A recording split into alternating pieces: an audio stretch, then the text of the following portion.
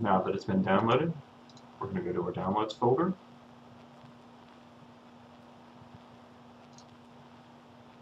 Open the file. Double click on it.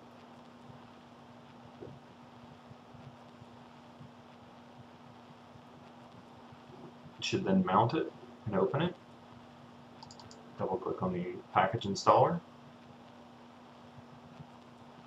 Follow the prompts.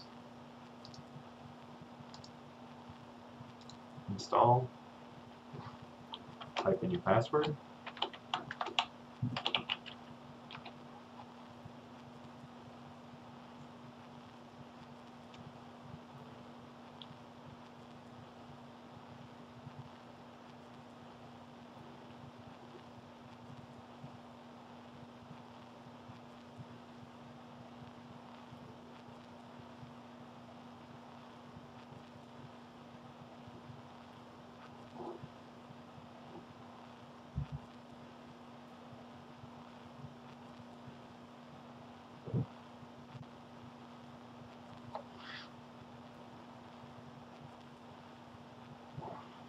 Go ahead and hit close.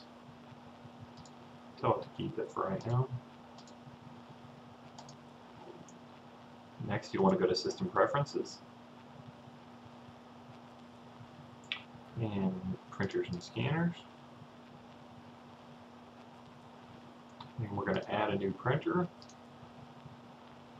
And you'll need to know the IP address of the machine. You can get this by printing the status page. Can switch this to LPD and type in the address.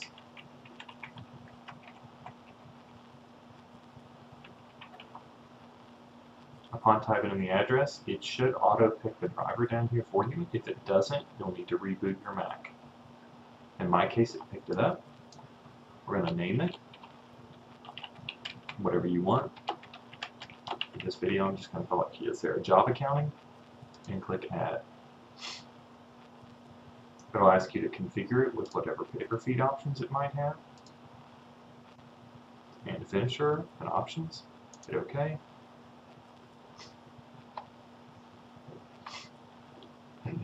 It's now been created. Now let's set up job accounting. If you don't have job accounting, you're good to go as of right now and can print immediately. So we're going to use Safari. It doesn't matter, any application you can print out, you can use this to set it up. We're going to go File, Print. And on Mac, you cannot set defaults, so what you have to do is set presets. So what we're going to do is hit the down arrow here and go down to a job accounting. I'm going to put a check marks in the job accounting box. Type in the job accounting code you want to use. And what we're going to do is save the current settings as a preset and call it job accounting.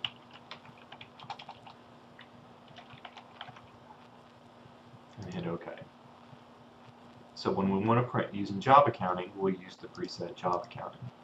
Now you might also want to do things like go into imaging and set it to full set it to black and white instead of full color to save on cost. And again, you can save that as a current preset and overwrite your existing.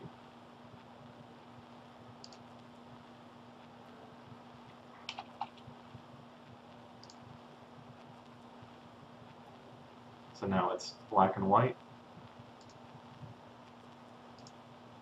with job accounting turned on.